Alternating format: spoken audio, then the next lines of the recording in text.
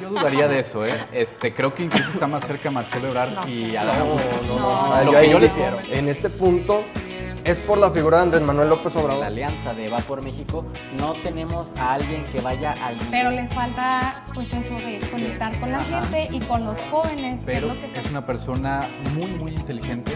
Eh, Para recordarles que vamos a estar semana a semana en esta edición de la Mesa de Opinión Juvenil.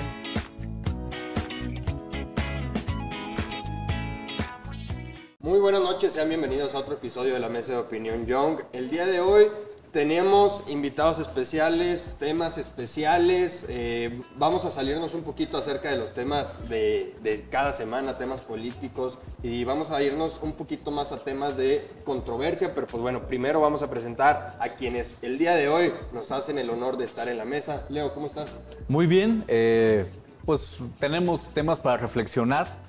Como siempre me da mucho gusto verlos, que nos puedan escuchar. Vamos a discutir, vamos a debatir acerca de una controversia que salió en los últimos días, el Arquijuve, eh, el influencer eh, de Ramos Arispe, aquí del municipio vecino, eh, Alex Martínez. ¿Qué es lo que piensa? Hubo ahí una mezcla de clasismo, de, pensamientos conservadores. Vamos a ver qué, qué es lo que tiene. ¿Tienen la razón o no? Vamos a, vamos a explorarlo ahorita. Y bueno, aquí a mi lado izquierdo, José Sánchez, mejor conocido como Sándwich. Así es. ¿Cómo estás? Mucho, mucho gusto y qué bueno que, que nos invitan de nuevo aquí a la mesa de Opinión Young, con muchísimas ganas de, de seguir participando y es un tema bien bueno. La verdad está interesante, en redes sociales se habla mucho de eso y pues, yo creo que vamos a tener mucho para hablar porque es algo que definitivamente eh, pues muchos podemos hablarlo, pero quizá no tenemos esta idea correcta de, de cómo se debe este, tratar un tema así, porque pues es casi con pinzas, ¿eh? ahorita tra- a tratar estos temas es quirúrgicamente, ¿no crees así, Fabián? Sí, así es. Este, pues tiene un tema bien interesante y creo que, pues bueno, lo desglosaremos más adelante, pero pues más allá del clasismo y de lo que cada quien pues determine su nivel socioeconómico, pues hay algo más dentro de este tipo de pensamientos. Así es, bien lo mencionaba Sandwich. Mencionaste creo que un punto fundamental. Es un tema que hay que tratarse con pinzas, es un tema bastante delicado, un tema eh, que si te sales un milímetro de la línea ya puedes caer en el lado equivocado, ¿no? En el lado, lo mencionan, lado clasista. Funable. funable o a veces en el lado, este, de, por el otro lado también dices de que, oye, pues, ¿qué estás diciendo? Tus argumentos a lo mejor no son ni válidos, contraargumentos, pero pues bueno, vamos a ahondar un poquito más en este tema. ¿Qué les parece si nos vamos en orden cronológico para que la gente sepa de lo que estamos hablando, cómo sucedieron las cosas? Y bueno, arrancamos eh, con el video que hace el Arquijuve, hoy por hoy uno de los más famosos a nivel nacional, es un trending topic eh, semana tras semana. Eh, sale con este video eh, diciendo o narrando la historia donde él iba manejando aquí en la ciudad de Saltillo y ve a un padre de familia con su hijo pidiendo dinero en la calle. A lo que él dice que, pues bueno, si, si no tienen una solvencia económica, pues bueno, piensen antes de traer gente al mundo, ¿no? Digo, también ustedes váyanme corrigiendo si tengo algún detallito, pero a grandes rasgos es lo que menciona el arquitecto. Sí. Lo hace en un video, lo hace público y finalizó eh, de esta manera el video. ¿Ustedes? Agrega, agrega además la edad del, del señor, del, del Ok. padre de familia, que yo creo que también es fundamental en la crítica que Juve pone, porque no es un señor de la tercera edad, no estamos hablando de un señor eh, que quizá no tiene las capacidades para trabajar, sino él lo describe como un señor de veintitantos años. Por lo que, pues es un chavo, güey. O sea, es un joven que tuvo un hijo y en lugar de estar, pues, viendo posibilidades laborales, pues está pidiendo dinero. Y, y eh, Juve también menciona esta idea de que, pues, extrae al niño ahí como para causar remordimiento, causarle algo a la gente y que termine, pues, diciendo, déjame lo apoyo, déjame lo aliviano. Entonces, es, es ahí un detalle que, que sí perturba mucho, ¿no? De que Pero- para qué usan los niños. Pero es la percepción que al final de cuentas brinda, ¿no? Este, este el, el arquitecto Juve, ¿no? O sea, Mira, al final de fíjate, cuentas. Yo hace poco vi un video de un influencer también que se encontró a un señor, pues que vivía en la calle abajo de un arroyo y le dio lana, le dio como 100 mil pesos. Ah, lo Sí, vi. sí, lo sí. y luego al día siguiente, dos días después llegó y ya andaba tirado otra vez, borracho, drogado. Y ya se Sí, los había se gastado. ha echado en dos días la... Entonces, o sea, es lo mismo, bueno, obviamente equiparando este ejemplo con lo que pasa ahora con este personas que están pidiendo dinero con sus hijos. O sea, tratan de sacar provecho de alguna manera de la situación en la que viven. Híjole. para sacar otras No, cosas, Fíjate que yo voy a complementar el comentario que estás diciendo, Fabián. A ver, a mí me ha tocado infinidad de veces en los cruceros ver eh, papá, hijo, mamá, hijo, este, donde, simple- o sea, donde el, el papá está sentado en la sombrita, en la reja, y mandan al hijo eh, a pedir dinero. Ahí yo sí estoy completamente en desacuerdo que se haga eso. Ahí sí se quiere ir más por un lado del sentimiento, de decir, a lo mejor al niño sí le van a dar dinero o le van a dar más dinero que a mí, pero yo estoy en total desacuerdo que se haga la práctica de esa forma, ¿no? El hecho de decir el papá, la mamá sentaditos en la sombra y el niño está a 40 grados bajo el sol todo el día, dices, a ver, aquí ya sí hay algo mal. Entendemos la situación social, económica, pero no te puedes aprovechar del niño de esa Y eso manera. fue lo que, lo que le contestó Alex Martínez. Oye, pues si realmente opinas que nadie debería de nacer por el simple hecho de su situación actual, este, pues ni siquiera alguien como cualquier persona en esa situación hubiera nacido. O sea, inclusive es- esa persona, estos dos influencers, si hubieran estado en la misma situación, pues no hubieran nacido nunca, ¿verdad? Entonces, Este, es la, contrapropuesta. ¿no? Yo, yo creo que aquí tenemos que frenarnos tantito porque yo no creo que este sea un tema que deba de tratarse con pinzas. Yo creo que más bien debe tratarse con prudencia y con empatía y con entendimiento, que creo que es lo que le faltó al Arquijuve. Eh, creo que nos estamos yendo mucho del lado de asumir que realmente estaban utilizando a los niños, a los infantes, como ahora sí que casi un objeto de manipulación con el fin de obtener recursos económicos. A lo cual yo diría, creo que no nos podemos adelantar porque al final de cuentas ni él ni nosotros sabemos específicamente el contexto de las personas. Vivimos en Saltillo. ¿Están de acuerdo que, que creo que lo hemos visto todos, que aquí la mayoría de las personas que se encuentran en los cruceros son personas migrantes, por ejemplo?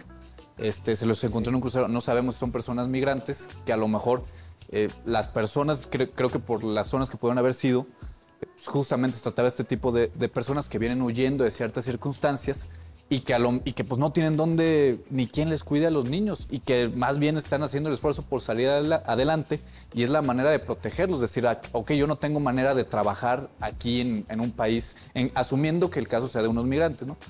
Yo no tengo manera de trabajar en un país ajeno, no se me da el permiso, no, no puedo dejar a mis hijos en otro lado, entonces No, y vienes- si estoy ver, haciendo esto, pues hay que cuidarlos. ¿Vienes de paso? O sea, no puedes tener un empleo, digámoslo, de tal Fijo. manera formal, fijo. Exactamente. Porque, a ver, eh, y ni siquiera ellos saben cuánto tiempo van a estar. O sea, así Por como supuesto. pueden estar un día, pueden durar un mes, dos meses.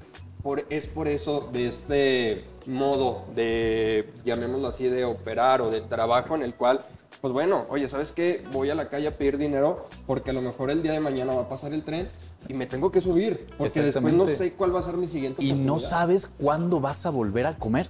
O sea, entonces creo que yo lo que creo es que sí es un comentario muy equivocado, sí veo rasgos de clasismo, eh, de un juicio muy sesgado, pero sobre todo creo que en esta ocasión el Arquijuve peca de hacer un análisis, de, creerse que tiene la oportunidad de juzgar y de hacer un análisis tan extremadamente superficial, porque efectivamente no conoce las circunstancias. Yo te puedo decir, a ver, un caso que me pasó en Querétaro un día que estaba de visita, yo estaba trabajando, me subo a un camión y se sube un joven de a lo mejor 25, 27 años con un niño pequeño. Al camión se sube con chocolates y lo deja sentado, eh, incluso medio encargado con una señora enfrente, y él se pone a vender los chocolates. O sea, ni siquiera lo usó como, una, como un elemento para que le compraran. Ah, y ahí está trabajando el señor. Y está trabajando. Y, y la señora, cuando ya termina de, de comprar, le pregunta, ay, es tu hija. Y le dice, pues sí, fíjate que la mamá se murió, entonces pues yo lo, lo estoy cuidando. O sea, está trabajando.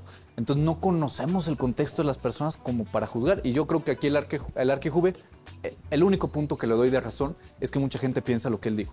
Eh, a mí me tocó que maestros me lo dijeran en la primaria. Y yo creo que ahí uno de los errores es decir derecho que las personas pobres o con carencias económicas no tienen derecho a, Mira, a yo, tener hijos. yo Creo ahí que es un sí, gran sí problema. quiero este, argumentar y para eso traje la Ay, constitución. Yo saqué- este, sa- güey, sa- toda la saqué la constitución. Mira, el artículo 4 dice que toda persona tiene derecho a decidir de manera libre, responsable e informada sobre el número y el esparcimiento de sus hijos. Claro. O sea, cualquier persona tiene la libertad de tener 50 hijos, ¿ok? Pero si nos vamos a la Ley General de Derechos Niñas y Niños y Adolescentes, artículo 44, dice, eh, dice que quienes ejercen la patria potestad, tutela o guardia y custodia de niños, así como quienes tengan bajo su atención y cuidado, tienen la obligación primordial de adoptar prácticas de creencia positiva, de proporcionar dentro de sus posibilidades y medios económicos las condiciones de vida suficientes para su sano desarrollo. Lo cual está perfecto, pero creo que hay un problema ahí, ¿eh? Es que O ahí, sea, ahí te lo menciona. Es es una ley es- muy subjetiva. No, no, La- no, es no, no. claro. es que- Bueno, es un, o es un artículo puedes- muy subjetivo. La ley te dice, a ver, puedes tener los hijos que quieras, pero siempre y cuando puedas darles una vida digna. Que Pero ¿quién puedas. regula que eso? puedas. Más bien que Que puedas. pueda- Pero Ajá. ¿quién regula es que eso? ¿Quién, quién te dice tienes que tener tantos ingresos para poder tener tal cantidad Ah, de bueno, hijos? ahí te voy, ahí te voy, también saqué esa- ese dato. La Coneval, Consejo Nacional de Evaluación de Política de Desarrollo Nacional, de Desarrollo Social, hace una estadística junto con la INEGI para saber cuál es el ingreso mínimo que necesita una persona mensual para poder sobrevivir. No vivir que es al cine, que el Sí, no, café. sobrevivir. Sobrevivir. Saca 4.529 pesos. Vamos a redondearlo, 4.500. ¿A qué, a qué, a qué 4.500 año pesos. es? Ve- 2024. Ah, ok, enero de madre. 2024. Ok, ahora, eso vamos a quitarle, o sea, eso incluye nada más puras necesidades básicas, sin renta, sin Ajá. servicios ni nada, de una casa. Es, es comida, este, ropa, higiene personal, lo más básico de lo básico. Estás viviendo en la calle, pero tienes lo más básico de lo básico. Ahora, el salario mínimo, ¿cuánto es en México? 248, 250 pesos diarios, 7.500 pesos al mes. Así es. Eso te da para nada más vivir tú, una sola persona. Ahora, supongamos, te voy a poner este ejemplo, de que dos personas vivan juntas, que sean una pareja, estarían juntando 15 mil pesos al mes. Si los dos trabajan. Si los dos Si los trabajaran dos con el salario mínimo. Con el salario mínimo. Eso les está dando 9 mil pesos para solventar sus gastos mínimos y 6 mil pesos extra para los gastos de, que vengan. Nada más que ahí hay un detalle. Si te fijas, no es lo mismo eh, los gastos que vas a tener como una persona que como dos viviendo en el mismo espacio. O sea, porque a final de cuentas, digamos que en este supuesto de dos personas, dos salarios mínimos juntos, si viven juntos y en una asociación, a final de cuentas, pagan una renta, pa- No, pagan pero un no servicio se- de no internet. se está contando No, no, no, claro, a eso me refiero. También en la- incluso en la cuestión de, eh, de, de alimentación, de, este, de artículos de higiene personal, o sea, ya no es el mismo gasto por dos personas. Pero bueno, retomando, Digo- creo que ese punto es importante. O sea, justamente es una recomendación, una estimación que se hace, pero no hay nadie regulando eso. No hay nadie que vaya y te diga. eh, ¿Cuánto eh, estás justamente. ganando? A ver, para quitarte a tus hijos. Pues, no. Exactamente, a, a eso O sea, es a lo que no, voy. Es que es a lo Es que una voy. estimación, una Oye, recomendación, si pero no hay nadie que lo regule. A ver, pero yo sí estoy de acuerdo en ese tema. A ver, nos hace falta mucho tema de cultura y vamos, aquí también entra un tema de cultura y de educación sexual, que los mexicanos no lo tenemos, hay que decirlo así, no lo tenemos, ni clase alta, ni media, ni baja, pero sí se tiene que hacer un, un tema de, de conciencia, de decir, ok, si quiero tener un hijo, le tengo que dar una vida. Y muchas veces se dice de lujos y eso, no, una vida digna, Digna. una vida donde a lo mejor el niño pueda tener su oportunidad de desayunar, comer y cenar. Exacto. Cuando creo que hoy por hoy aquí en México más del 50% no tiene esa vida. Sí, de hecho, en el Seguro Social, las personas que ganan más de 20 mil pesos es el 2%. O sea, las personas laboralmente registradas en el Seguro Social, más del do- 2% ganan más de 20 mil pesos. O sea, ¿quién le va a dar una vida así como dices, de alimentación a un hijo? O sea, las, las familias no solamente tienen un hijo, tienen dos, tienen tres, tienen cuatro. No puede llegar a- Justamente, a ver, tenemos 50 millones de personas en la pobreza, pero yo sí creo, eh, les digo, retomando el caso específico de, en este caso, cómo hace la asociación, yo, yo creo, por eso digo, es un análisis muy superficial el que tiene el Arquijuve, porque dice, las personas con ciertas carencias económicas no deberían tener derecho a tener Sí, hijos. no, es que ahí la palabra clave es- es justamente derecho. O sea, todos- derecho y, y carencia. O sea, ¿por qué asumir, por qué hacer la relación de que una persona con cierto estatus social no tiene, no debería de tener un derecho. Y en este caso creo que ahí sí le tendría que dar la razón a Alex Martínez, que pues tampoco es santo de mi devoción, pero que lo entiendo porque dice, a ver, pues si a esas vamos, ni tú hubieras nacido, ni yo hubiera nacido, y es más, tampoco yo. O sea, eh, eh, o sea creo que es ahí es donde podemos hacer esa ver, diferenciación. Ahí como quieres, bien interesante el tema de Alex Martínez ahí comentando eh, una, un video, una video reacción de, de una opinión del Juve. Más porque pues mucha gente pues no ubicaba a Alex Martínez, no tenía idea de quién es. Creo que hay que poner en contexto. esto ayudó mucho a que, se, a que se hiciera popular, ¿no? a que se diera un poquito más a conocer. La situación es que eh, yo creo que fue una desestimación hacia la persona de, de, del Arqui, pero con comentarios más clasistas. O sea, porque le estaba diciendo prácticamente, tú no puedes ser clasista porque no eres rico, güey. Entonces, como que, Ajá. ¿qué? O sea, los que sí son ricos sí pueden ser clasistas. ¿O cómo?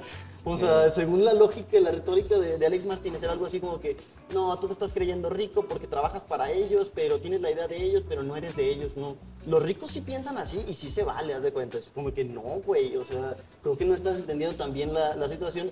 Y aquí es lo, lo curioso, y al- lo que yo quería comentar de esto, es que hay una frase que quisiera recordarles de Humberto Eco, que es uno de los mayores eh, escri- escritores en el siglo XX, historiador y, y cronista, aparte de sociólogo, que dice que las redes sociales le han dado el derecho a hablar a legiones de, eh, pues de, de todo tipo de personas, vamos a decirlo para censurar la palabra Ok.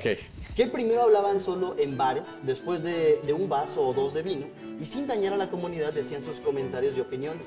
Ellos eran silenciados rápidamente y ahora tienen el mismo derecho de hablar que los premios Nobel de la humanidad. Es una invasión de los necios, gracias a las redes sociales. Híjole. Muchos dirían, eh, ah, ok, yo sé que ahorita van a decir, no, pues saliste Es que- igual, es que- es igual, que estás igual volvemos- de- de- de clasista". Volvemos al mismo Ahí va, tema, les sí. estás quitando el derecho a hablar. Es eso. Al derecho a, a tener familia. Pueden todos tener una opinión, pero no todas las opiniones van a valer lo mismo. Ahí Híjole. eso es lo diferente. Todos pueden el de- todos tienen el derecho a dar su opinión. Bueno, pero, pero- tu opinión no vale más que la de un experto en el tema. ¿Y quién, y quién, pero quién va a descalificar esa, esa, o quién va a ponderar la opinión que van a estar dando? El problema es que le damos O sea, demasiada yo- yo como experto- Es que es el sentido común. O sea, es No, el no, sentido no, no, a ver. No, no, no, Hay muchas veces que los expertos dicen ideas eh, descabelladas. No, o sea, por eso. Y lo, y lo Porque podemos de ver. expertos expertos, ¿no? De muy que están quizá en una en un extremo en un extremo Híjole. muy radical y que vuelven se vuelven pues extremistas, ¿no? O Y sea, que es no como- de Pero es que quién dice qué es lo que está bien y qué es lo que está mal. La ética y la moral. A ver, ¿y cómo mide la eso es ética y una la cosa moral? y otra cosa ver, es un juicio de si valor tú dices, a ver, voy a robar, ok, está No, mal. Estamos hablando de un comentario. no, o sea, por eso. No, en este Ah, es caso a lo el que voy. comentario es algo que sí se puede saber o identificar un- una forma correcta e incorrecta de cómo abordarse. Lo incorrecto es apropiarle tanta importancia a comentarios de influencers. Es eso. E- Mira. eso es lo, lo incorrecto Exacto. de este, de este hecho, es que le demos tanta relevancia y que los consideremos como ídolos a estas personas que solo, ah, pues, nosotros hacemos videos y no por eso, pues, nos creemos ídolos de personas. O sea, no por eso nuestra opinión, en un sentido de, de- decretar de que no, si no, si no tienes dinero, no tengas relaciones sexuales, no tengas hijos. Pues no, no tenemos el derecho de decir algo así, ni siquiera Nadie lo tiene. notarlo. Es- nadie lo tiene. Oye, mira- Bueno, yo sí diría que un médico, doctor, especialista que te diga, güey, no tengas hijos. Pero no por, algo tu condición social. Pero no por Ah, tu condición Pero social. Es por tu condición médica. Y Ay, aparte ahí no es bueno. limitante, es Ay. recomendación, más no es una limitante ni una Hacia ahí, restricción. hacia ahí podemos ir. O sea, ¿qué es lo que atribuye ese comentario de que no tengan hijos ese tipo de personas? Pues la pobreza, por ejemplo. O sea, si se erradicara la pobreza como tal, no estarían comentando diciendo que eso es un impedimento para poder tener hijos. Claro, o sea, aquí el problema es, es el elemento al que es asociado. Yo quisiera retomar algo en donde estoy muy de acuerdo con, con- Jorge. Eh, sí entiendo que ahora con esta tendencia de las redes sociales le, le da la, la- la palabra y el alcance a todas las personas y en muchas ocasiones esos comentarios no son favorables, digámoslo así, para el resto de las personas. Sin embargo, yo sí creo que no le puedes asignar un juicio de valor que es muy subjetivo al que comente una persona u otra por la preparación que pueda tener. Hace algunos días comentábamos acerca del laberinto de la soledad de Octavio Paz, que es un autor extremadamente reconocido, premio Nobel de Literatura, y que tú, por ejemplo, José, descalificabas varios de sus argumentos en función de los sesgos que podía tener. Claro. Todos somos personas. Y lo puedo- Todos lo somos. confirmo, y no, lo no, claro. mantengo, lo sostengo. y lo diga que sostiene, no tenga exactamente. está Entonces, tú el hecho de que, de que ahorita el postulado que tienes, que dices, es que hay unas opiniones que valen más porque son investigadores, porque son personas estudiadas, pues también lo estás descalificando a Octavio Paz, que es un premio Nobel de Literatura. Y justamente, o sea, precisamente lo entiendo. Creo que al final de cuentas es algo muy subjetivo, que no hay personas que su opinión valga más. Creo que cada quien tiene que hacer un análisis correcto de qué opinión le parece más compatible y más sustentada. Y ese juicio de valor tiene que ser personal. No podemos categorizar y decir tales comentarios valen más, a excepción de que sean una ciencia exacta. Por ejemplo, pues no va a ser lo mismo alguien un que te... comentario matemático. Ah, sí, o sea, no va a Aquí ser es lo donde mismo. Uno más uno es dos. Aquí es donde vuelco la mesa y les digo, no, ¿qué les pasa? A ver, todas las ciencias, ya sean sociales, filosóficas, analíticas, tienen carácter metodológicos que los vuelven ciencia. Que no tengan una comprobación digna como las ciencias exactas de 2 más 2 es 4, en la historia su metodología la pone como a la misma altura de cualquier otro tipo de disciplina. La, la sociología, la antropología, son estudios que tienen un método de investigación y que la vuelven ciencia. Pero estás de acuerdo que hay, hay teorías. Sí, no, pero ahora, en cuanto a la opinión, yo sí creo y no, no veo el, el por qué no debemos, más bien, ¿por qué debemos aceptar que todas las opiniones valgan lo mismo? Evidentemente no, evidentemente no van a valer nunca lo mismo. Pueden todos hablarlo y todos son libres y tienen el derecho de hablarlo y decir. y Pero ¿cómo vas a ponderar una, una opinión? Es que no se trata En este quizá de caso, que lo tú estás asumiendo el mismo rol que Juve, Ajá. de juez, Sí, de quizá. decir, yo soy el que tiene que decidir cuál opinión Ajá. vale más. Mira. Pero estás diciendo, queriéndoselo imponer a los demás, tendría Pero que ser personal. Yo quizá ya estoy harto del posmodernismo. Estoy harto de, esta idea de que todo, todos tengan la, opinión, la última palabra y que todos es una especie de, de no pasa nada, nadie está mal, realmente todos están bien. No, güey, no, hay mucha gente que está mal. Hay hoy una manera de que se pueden hacer las cosas prudentemente, orgánicamente, que tienen mm, comprobaciones, que tienen teorías que las respaldan y hay otras ideas que no. ¿Cómo puedes sentar en la misma mesa a un terraplanista con, alguien, con un geólogo? güey? No se puede. O No, sea, pero va a es ser que- interesante la pelea, pero uno va a ser descalificado rotundamente. Claro. Ah, Y no eh, tienen la por misma- eso, es o que, sea, que estás, tocando, descalificado. estás tocando un tema crucial y es, ok, uno tiene la... O sea, tiene datos exactos para decir, a ver, güey, estás mal. Y el otro va a decir, no, Pero es no que es en un sueño sociología. soñé que la Tierra era plana En y había sociales aliens. también lo es. Auguste Comte, eh, otro- Durkheim, entre otros sociólogos, nos han aportado que la misma ciencia social también es exacta, también tiene sus Híjole, reglas. es que a ver, exacta, exacta y no creo. A ver, eh, las ciencias eh, exactas, a final de cuentas, tienen algo por lo cual puedes descalificar una teoría y, en este caso, aceptar otra que la complementa. En el caso de, de las ciencias sociales, que valoro mucho, que me gusta mucho, que también, eh, y lo hemos platicado parte, muchas veces, también parte. formo parte, eh, a final de cuentas, ahí creo que las teorías sí son muy dispares y no hay una manera de decir esta es correcta o esta es incorrecta. A final de cuentas, todas las personas e incluso las investigaciones tienen un sesgo de la personalidad de quien las realiza, sea mucho o sea poco. Este, entonces también yo te diría, ¿qué opinas tú, por ejemplo, y te quiero hacer esta pregunta, de una persona que dice la marcha de la marea rosa es un movimiento a la misma altura que el movimiento estudiantil del 68? Nada más dime, ¿tú crees que, que está en lo correcto o que es una opinión sesgada? Históricamente quizá pueda tener una, es una opinión sesgada, pero puede representar un mismo peso. Histórico, sí. Tal vez no formaron los mismos elementos, o sea, obviamente los estudiantes es un grupo social muy determinado, mientras que la Marea Rosa se conformó por... Por señoras viejitas. Pero, pero, este, pero tú X o Y, consideras ¿no? que, que es al día de hoy, o sea, tú, tú lo consideras dos movimientos a la par históricamente y en importancia? No, no, sí, el movimiento de nivel del 68 para empezar es un movimiento mundial. Para empezar Ajá. se empezó en Francia, se pasó por España, llegó hasta algunas partes de, de- de Europa Occidental.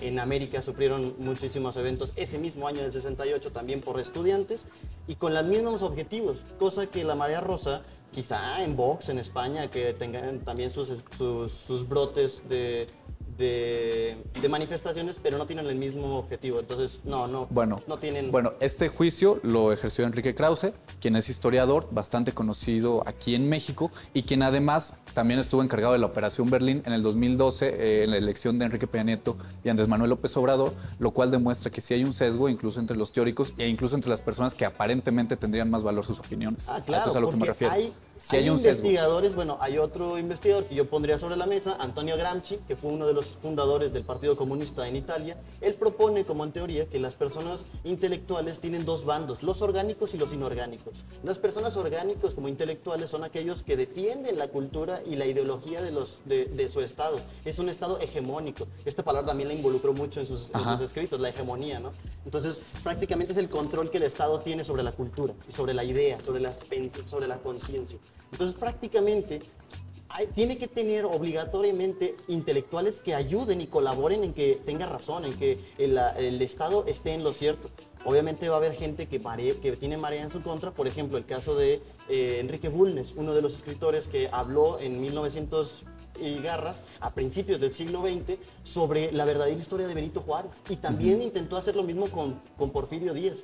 ¿Qué hicieron los intelectuales de la época? Lo sesgaron, lo mataron prácticamente intelectualmente para abajo. No se supo más de él, lo criticaron, eh, sus escritos fueron considerados como literatura barata chistes, entre otras cosas. Hoy en día la gente que actualiza y que ve los escritos de Antonio Bulnes, de, de Enrique Bulnes, perdón, dicen, este güey estaba en otra visión, o sea, tenía otras cosas. Lamentablemente se descalificó tanto su obra que hoy en día ya perdió peso histórico. Bueno, ahí estamos de acuerdo en, en los juicios de valor, ¿no? Acerca de los comentarios. Sí. O sea, Hay Es de que, los a ver, dos. ese tema que tú tocas es muy importante, ok.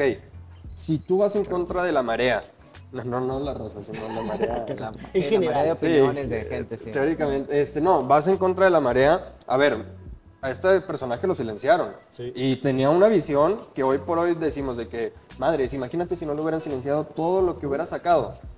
A ver, volvemos a lo mismo. ¿Cómo sabemos o quién va a determinar qué es lo que está bien y qué es lo que está mal? Entiendo que hay en cosas que se pueden saber. Lo mencionábamos ahorita. En tema de ciencias exactas se puede decir. En tema de, eh, de humanidades hay teorías que lo comprueban y se vienen tre- 10.000 teorías detrás de esa teoría que lo siguen comprobando. Pero en el tema, a lo mejor tan banal en el que estamos ahorita en una plática de amigos, así chaleando, ¿cómo podemos decir qué está bien y qué está mal? En, una- en- en algo así tan, Pues muchas tan veces, banal. o sea, yo pienso que muchas veces los datos pueden, dar, pueden darte la certeza de Que que, algo volvemos lo está mismo, bien o es está una mal. ciencia exacta, o Es sea, una ciencia sabes. lo que exacta. es una ciencia exacta. Pero lo que está bien y lo que está mal es muy subjetivo, depende de cada quien, ¿no? Claro, exactamente. O sea, sí Y- hay y un eso- parámetro. Hasta eso, o sea, dentro de aquí de México a lo mejor tenemos una percepción de la realidad muy Bien diferente alterada. a la que hay en China, ¿no? Bien Por alterada. ¿no? supuesto. O la que hay en, en, no sé, en Israel, por ejemplo. O sea, aquí decir, ¿por qué voy a ir a la guerra o por qué voy a matar a alguien nomás porque quiere diferente? No, pues allá es normal. O sea, eso es correcto para ellos. Normal. Está feo, está Y, feo. y yo creo que aquí No, podemos, sí, sí yo creo que aquí podemos retomar turbio. justamente el tema, porque una de las excusas que, que pone en este caso el Arquijuve es decir, pues es que es una opinión y si quieren, pero yo creo que cuando tienes un alcance, creo que por responsabilidad Ah, moral exacto, debes bueno. de ser responsable Es y que prudente con mismo, tus palabras. Eso es la ética y la moral lo que determina lo que está bien y lo que está mal. Oye, a lo mejor no tiene la- el conocimiento o el título que determina para que el juve diga cierta, cierta cosa. Debería de tener todavía mucho más criterio para decir una opinión de... Bueno, es que volvemos a lo mismo. De por qué Si le pa- estás quitando Si su para el arquitecto está bien, así creció, así nació, o sea, bajo su criterio eso está bien. Claro, ¿Cómo o sea, lo vas a no, frenar o cómo le bien, vas Pero a...? yo creo que No, justamente tienes que ser prudente con tus Es- palabras eso. o asumir la Exacto. consecuencia de ellas, porque algo Por que eso. pasaba es... Es, es- es que tú dices que sea prudente, pero a lo mejor él ya analizó lo que va a decir y para él es, para mí está bien. ¿Quién, quién le va a poner el filtro? Yo creo, yo ¿Cómo creo a que no lo hizo que que por la respuesta. a la fiscalía. Yo digo que no lo hizo por la respuesta que tiene contra varias personas. Eh, en este caso, incluso una página de aquí de memes de Ah, sí, Saltillo. la vi. Este. Eh, hace un meme, o sea, literalmente un meme, algo sin importancia. Y la respuesta es, ajá, es que eres un ardido. O sea, yo creo que ese comentario ya en el que eh, desacreditas a las otras personas piensan porque, diferente. porque Ajá. piensan diferente, ya es que no, que no hiciste el análisis correcto antes de opinar. Y a final de cuentas, yo creo que somos responsables de lo que opinamos y tenemos que asumir las consecuencias. Si yo digo algo sin fundamento, tengo que asumir las consecuencias que ello conlleva. Bueno, y incluso en el tema de si tienen que tener hijos o no, pues bueno, no solamente en el tomando de criterio a los, a los más necesitados, ¿no? O sea, creo que en general cualquier persona, sea rica, sea pobre o lo que se dedique, tiene que, o sea, no puede solamente tener por el dicho de, ah, yo quiero tener por capricho un No, hijo. tiene que hacer un análisis Exacto. totalmente. De hecho, hay una frase que encontré ahí que decía que todos los niños tienen derecho a tener padres, pero no todos los padres tienen Claro. pues la, la, O sea, sí pues, el tienen el derecho. ¿no? la oportunidad o el privilegio de darse el dicho de tener hijos, ¿verdad? Sí, sí, sí. O sea, entiendo ese punto. O sea, el hecho de decir, va, los puedes concebir, pueden nacer los hijos, pero al final de cuentas también padre es el que los cría, el que les da una buena calidad este, De de, vida. de vida dentro de las posibilidades, como lo mencionas. Este, pero también ese hecho de decir, a ver, voy a cuidar a mi hijo, voy a, este, a llevarlo por el camino del bien, porque vemos muchos padres, o padres entre comillas, que, ah, ok, tienen al hijo y, pues mira, desde chiquito haz lo que tú Mira, quieras. Hasta eso, hace poquito encontré un video que se hizo muy viral por el comentario que hizo esta chava, que era una chava lesbiana y que tenía una pareja también lesbiana y que las dos estaban de acuerdo en tener un hijo.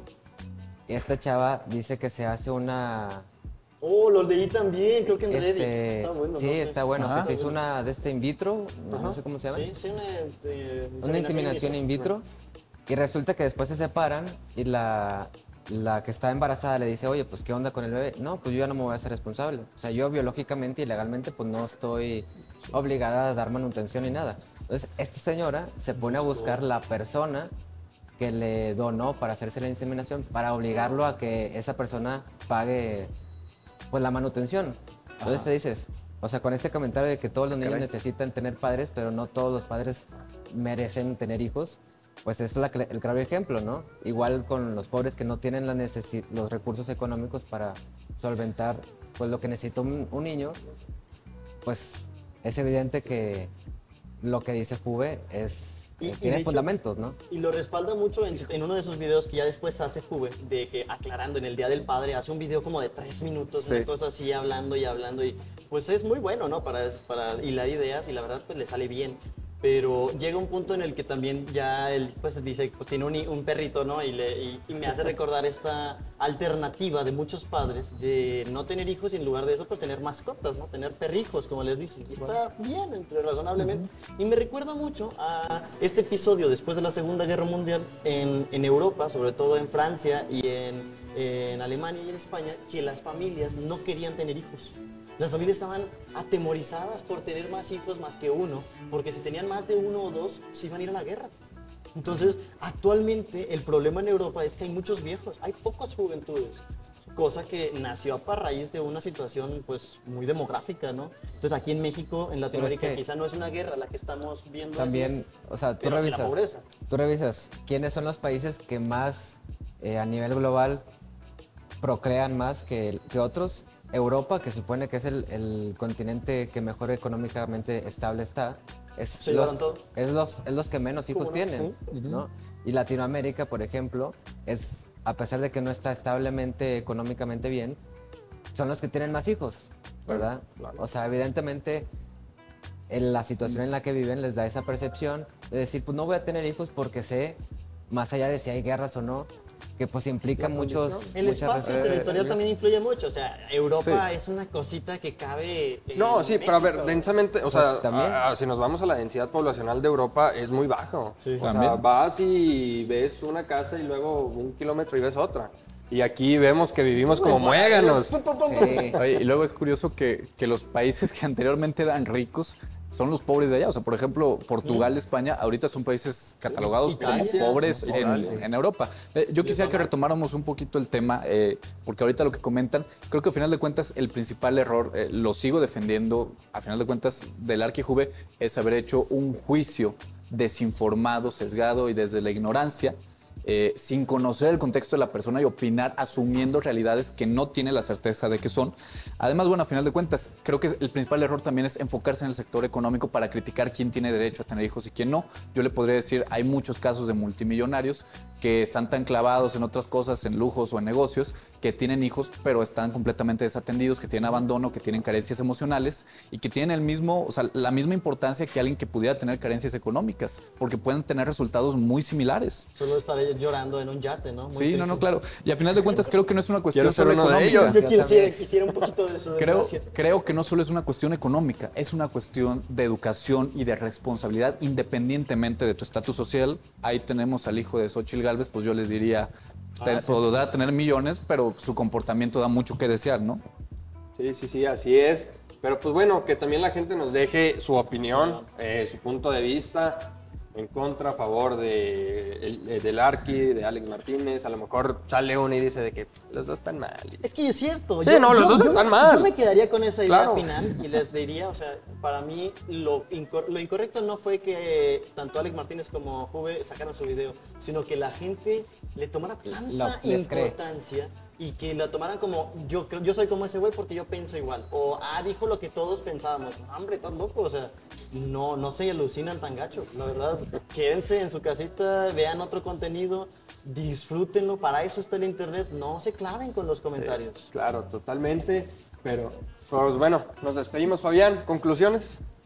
Pues la verdad yo me quedaría con todos los niños merecen padres, pero no todos los padres merecen niños. Esa sería mi, mi conclusión respecto a las opiniones que hacen Alex Martínez y Juve. Sándwich. No, pues es eso. Yo creo que la, la gente debe tener su última opinión y pues no, no darle tanta importancia a las opiniones que ven en internet, incluyéndonos a nosotros. Sí, no, también lanzamos. Sí, por, a ver, a, a quienes están viendo también, caray. No, que la- Este, no, creo que todos somos profesionistas, ¿verdad? El día de hoy. Sí. Este, y nos damos a la tarea Por de eso vale más nuestro, nuestras opiniones, ¿no, Leo? Yo creo que vale exactamente lo mismo y cada quien el valor que le decide asignar al comentario o juicio de una persona es muy subjetivo siempre y cuando esté fundamentado. Eh, no, yo creo que hay que tener un poquito más de empatía, hacer juicios de valor basados en una realidad sustentada, no asumir realidades que no conocemos. Y sí, yo creo que hay que tener un mejor análisis, no, no, no hacer juicios eh, tan sesgados, tan ignorantes. Creo que podemos hacerlo tantito mejor y antes de juzgar a las demás personas hay que tener un poquito más de conocimiento. Y ahora, pues sí, creo que es una cuestión de educación y responsabilidad de los hijos, no solo una cuestión económica. Al final de cuentas todos tenemos el derecho, pero también con todo derecho viene un deber, ¿no? Totalmente, totalmente. Pero pues bueno, les agradecemos mucho por eh, acompañarnos el día de hoy a esta emisión de la Mesa de Opinión John. Ya saben, como cada jueves, una emisión nueva, un debate nuevo. A veces somos serios, otras veces no lo somos tanto. Pero pues bueno, les agradecemos mucho por acompañarnos y nos vemos en la siguiente emisión.